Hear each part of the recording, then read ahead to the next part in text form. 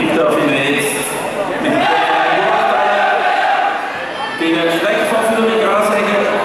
Sie sind das letzte Jahr Zweiter gewesen am Hurgen und haben äh, an der Schweizer Meisterschaft den Vereinsturnen den 50 Rang erreicht. Also ein ganz hochkarätiges Team, das da am Start ist. Recht frei für den Verein